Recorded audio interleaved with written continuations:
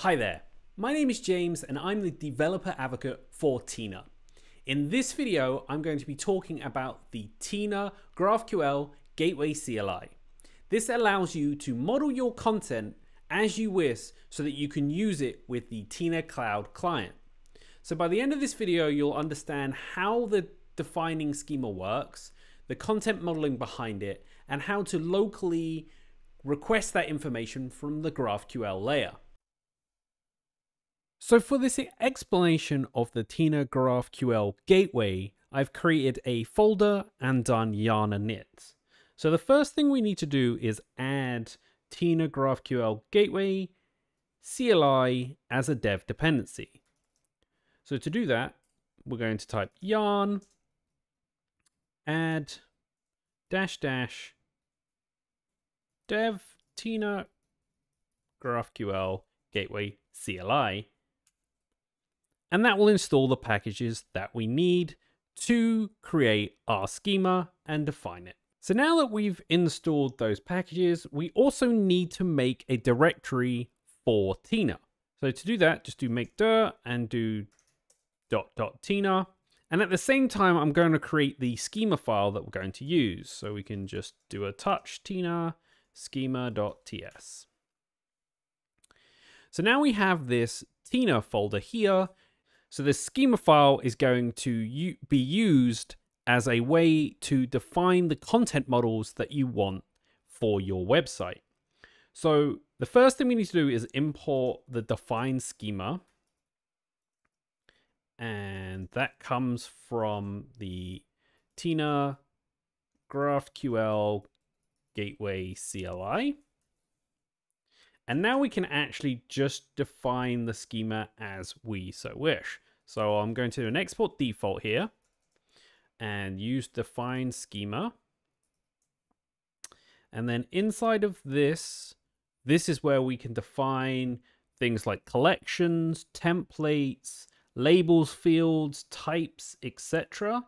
And that will get converted into GraphQL. But before we define the schema, let's talk about each of the individual pieces that create a full schema to be used with Tina. So the first thing that we define in the schema is the collections. Now, you can think of the collections of a way to inform the API about where to save your content. So if you created a collection and the first one was, for example, posts, that you could tell it should be stored in say content slash posts and it can be uh, this type of template. So let's create our first collection here and I'm going to give it a label. And the label for this collection is going to be blog posts. And then I'm going to give it a name and this name defines the name of this particular collection so we're going to call it post. And then we're going to give it a path. Now, currently I don't have any folders over here, but I'm going to tell it that anything that's in our blog post should be found in content slash posts. Then we get to define the template. So we can do templates here. And the templates is another array. Now let's talk about templates for a second before we move on. So you can think of a template as a way to shape the content that you're creating. So for example here of blog posts, we're going to want to have a template that has the title and maybe the author who has created this blog post. And we also need to give it a label and a name. So inside of our template here, we're going to create a label.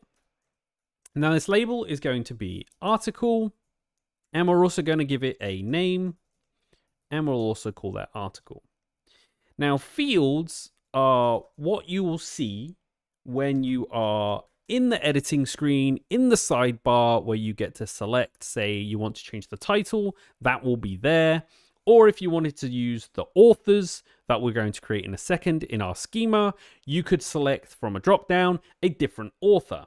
So we need to define what their type is, and also the label and the name. So let's give the first field a type of text, and we will give that the name and label of title. And then we will create a second object here. And that object is going to hold our authors. So what you can do with a type is actually create a reference. Now we're going to create this in a second underneath the article. We will create uh, our second part, which will be authors. So we can actually reference those authors and be able to pull them in for our content. So I'm going to do a label here and we'll call it author. And we're going to give it the name author.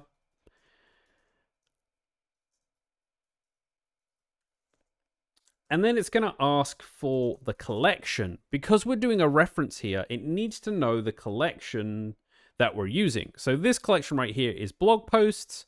So the second collection will be called authors. So we can create this and call it authors. Now when we hit save here, we've created this first object, which is going to be the first thing in our collection. Then we can create a second one, which we'll use called authors, and then we can use that as part of our overall collection. So our second template here is going to be authors, as I explained previously. So let's give it a label of authors, and then we'll give it a name as authors in lowercase. And then we're going to give it a path similar to this at the beginning, right? We have this path content slash post, which we don't have yet, but I'm going to create some dummy content so we can play around with the GraphQL. But we're going to also put the same sort of path. So we're going to have content and then slash authors. And now we get to define the template again. So we can do templates and we can say in our array, we're going to have the first one is going to be named author and we're going to give it a name of author as well. And then we need the fields that we're going to use. So for an author, we're going to need their name and obviously some sort of image that reflects who they are. So we're going to do type of text and we'll give it a label of name. And then we'll give it a name of name. And then we'll create our second object here that will contain the type. And we'll say text as well, because we'll just use a uh, media URL. So that can just be type text. And we'll call this avatar. And then we'll name it avatar as well.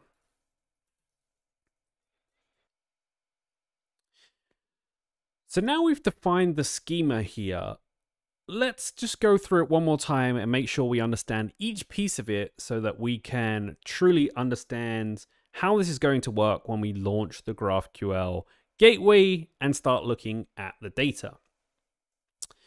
So the collections contains each type of uh, data that we're going to be using and what they're going to be labeled and what their path is for the content that you're modeling. The templates part gives you the ability to label, name, and add fields such as text or dates or references and use those to shape the way it's going to look in the sidebar. What's a key note here as well is that you can have multiple templates for a single collection. So if you needed to have multiple templates, you can certainly do that. Then inside of our fields, we have each type and the name that we're going to give it. So now we've kind of got a basic understanding of this schema file. Let's launch the, the GraphQL gateway and look at what happens when the data is generated from this file. So from the terminal, you're going to run away yarn run tina GraphQL server start and hit enter. And now what will happen is, is that we'll spin up a GraphQL server on this port 4001 where you can access the data. Now, if you look in here, we've got a configuration And here are our templates that we've created here. So this is template number one, and then this is template number two. And we have these YAML files. So if you look inside of here, this shows you the what the label is going to be called, the name, and the fields that we're using, such as text for the title, and for the name, we're going to be using an author, and it's going to be a select type, and it's going to come from this section authors, which you can now see here is two fields with text and type. And then in our settings, it gives you the sections and what we should be looking for in the types of content. Now in the schema uh, GraphQL here, this is generated from obviously Tina, and it gives you all the different uh, types that will be available for us to query through GraphQL. And we also create this types file that has all the types for the generated content, such as author doc form that we'll be able to query, etc. So now I've gone over this files, what I'm going to do is I'm going to just drop a couple of content files in here, and then we can load up a GraphQL client and take a look at what's happening. So here we are in a GraphQL client, and we can look at this docs here on the right hand side, and we can actually look at the queries we can make. So from here, we can get get documents, we can get post document, get your collections or a single collection, get the list of posts, the author documents, or get a list of authors. So what I'm going to do here is I'm actually going to create a query that will take in our posts and return the data along with the author as well. So let's do that together. So we can create a query here and then we can do get post document. And we can do relative path. And I created content and I called it post I mean first post .md so I'm going to get this information for this particular markdown file. Then I'm going to return data because we want to return. We can do underscore underscore type name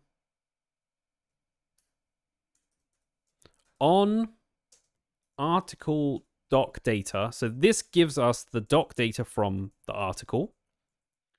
And from that, we're going to want the title and we're also going to want the author. And the author, we're going to need the data from that. And the data is going to be on author doc data. And we're going to ask for the name and the avatar. And then we want to return the body. So we just underscore body here. And now we should be able to run this query and inside the results, we should see from this localhost 4001 slash GraphQL, the returned data that was in my documents. So here we have the returned data.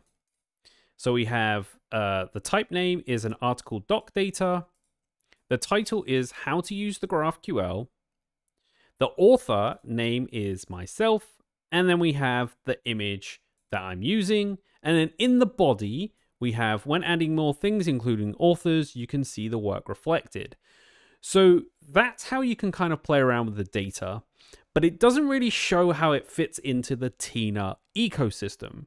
So now that we've gone through how to define your schema, how to query the data using a GraphQL client, let's look at it in practice in our starter application. So here we are in the Tina Cloud Starter, and what I have done is I have logged in using Tina Cloud, and I'm on the Vote for Pedro page, which essentially works the same way as the define schema that I showed in the example. Now, if you look at this raw JSON here, which is what is returned from the GraphQL, you can see that I'm pulling the article doc data and I have a title, an author, which returns both the name and the avatar, and then we have the body being returned as well. And these are all the things that we queried in there, and we can see them on this left hand side bar. So you can see how really easy it is for a content creator who doesn't know what's happening behind the scenes, if they want to edit a page, they can come in, log in, and then start using what you've defined in the schema as what they can edit on the page. So this is the end of the video. If you did enjoy the video, make sure to let us know in the comments on more things you want to learn about Tina Cloud. And until next time, see ya!